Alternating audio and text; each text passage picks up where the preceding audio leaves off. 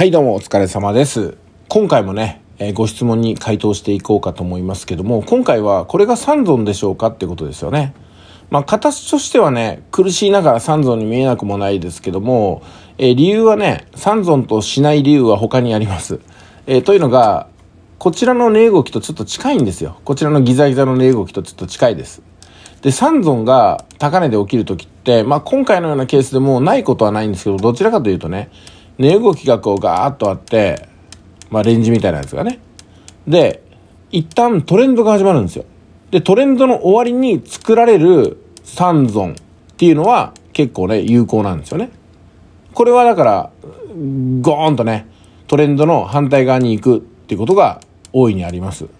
しかし今回は、値動きの角になるところが、一旦ここにありますよね、レンジみたいなのが。その上の三尊ですから、まあこれが三尊だとしてもね、大きく下に下落するっていうよりも、大体この辺りでね、この辺りで止まっちゃうんですよね。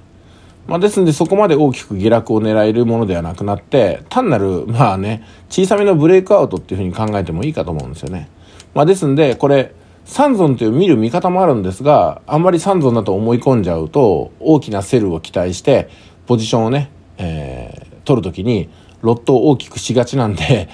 これはまあ三尊といっても、うん、まあ小さいそのネズミ花火みたいな三尊ですからそこまで意識する三尊ではないかな。むしろこれはもうレンジの方を意識する方が、うん、損失を出さずに利益につながりやすいということがありますんで、うん、まあでもねこの三尊じゃないかなっていつも疑うの大事なんですよ。すごく大事です。三尊じゃないかなって。ただ大前提としてトレンドの後で三尊っていうのが起きると思ってください。これはまあトレンドがまあ発生してないですからね。うん。もっと短い時間軸で考えたらトレンドに見えるかもしれませんけども少なくともこの4時間軸で見ると三尊と言えるような動きではないんでむしろこれは横ばいが始まるレンジの始まる前兆じゃないかなって捉えた方がよろしいかと思います。はい今回もご質問いただきましてありがとうございました。